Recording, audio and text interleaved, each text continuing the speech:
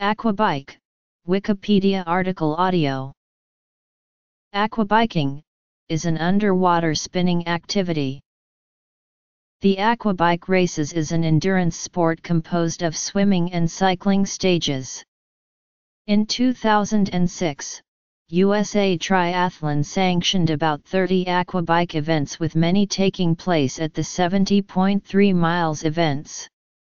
It consists of swimming and biking, usually taking place simultaneously within on the same outdoor course as a triathlon competition.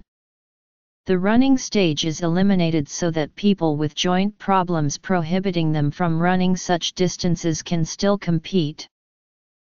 Aquabike Series The Aquabike Series was a pilot program in 2005 in which athletes competed in the swimming and cycling portions of a half or ultra distance triathlon, but did not do the run.